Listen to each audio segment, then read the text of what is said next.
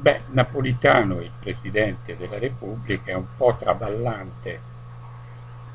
sulle gambe, ma ha una testa estremamente lucida e ha dato il fatto suo ai cosiddetti padani, ricordandogli che non esistono e non esisteranno mai. Quindi io spero che ci siano dei padani, dei, dei cosiddetti padani, dei leghisti ad ascoltare perché è bene che sentano queste parole che non sono solo mie, ma sono di milioni di italiani che non permetteranno eh, la nascita di una Padania se fosse necessario ma non lo, intervenire, ma non lo sarà. Non lo sarà perché loro ora, più, meno che mai, hanno la forza di realizzarla. E Napolitano a questo punto ha deciso di dire basta, insomma, finché strillate in un prato con le corna in testa va benissimo, insomma, ma quando pensate davvero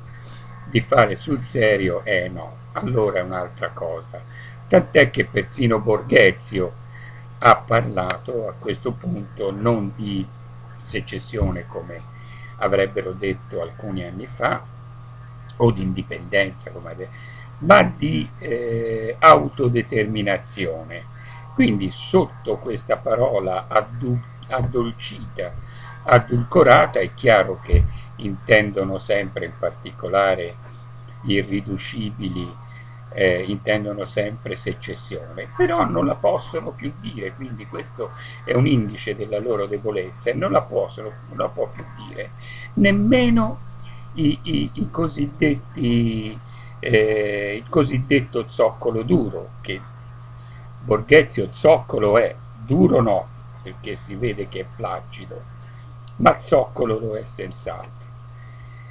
E quindi se persino il cosiddetto zoccolo duro è costretto a chiamare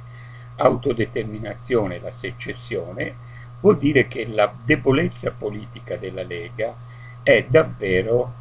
eh, arrivata a un livello molto alto e anche lo scontro politico che c'è all'interno tra Maroni e Bossi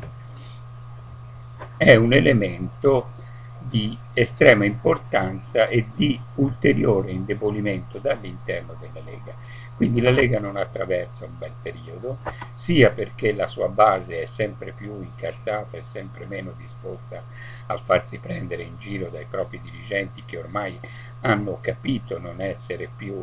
eh, né Padani né, né, per Roma Ladrone, né contro Roma Ladrona, anzi sono molto romani, molto ladroni e molto non diversi, anzi peggio, dei, dei, dei, di quelli che loro avrebbero voluto impiccare, dal momento che oltre ad aver salvato Milanese hanno salvato anche il eh, mafioso romano e quindi hanno salvato un milanese e un romano. Eh, questo la dice lunga. Eh, per cui la base della Lega è veramente eh, furibonda e all'interno c'è un grosso scontro e a quanto pare il Presidente della Repubblica ha deciso di eh, porre un freno a queste,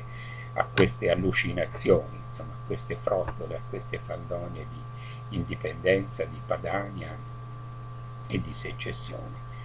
Bene, avanti così speriamo che il dissenso all'interno della Lega cresca,